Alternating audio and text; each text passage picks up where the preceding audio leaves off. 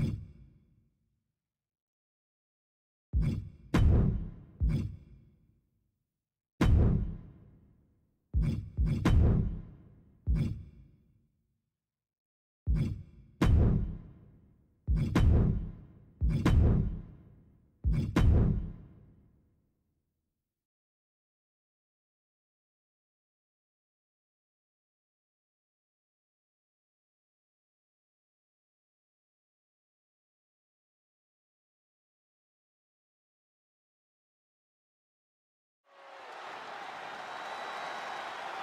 I am so close to having this title renamed in my honor.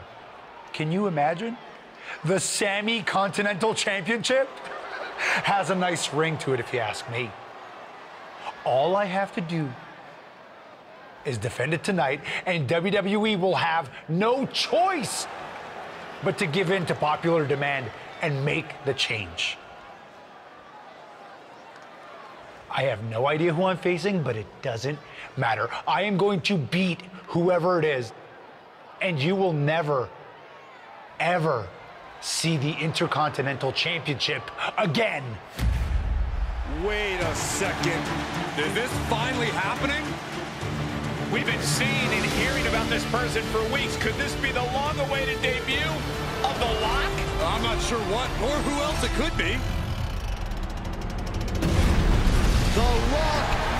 Arrived on Raw.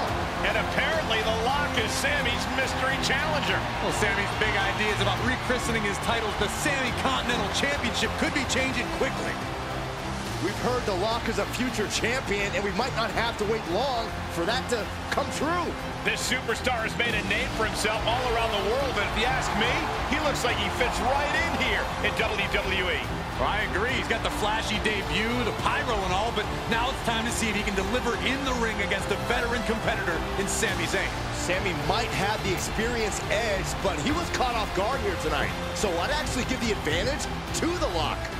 You might have a point, Saxton. Sami Zayn looks like he's hesitant to even go through with this match. He's shook. I don't blame him.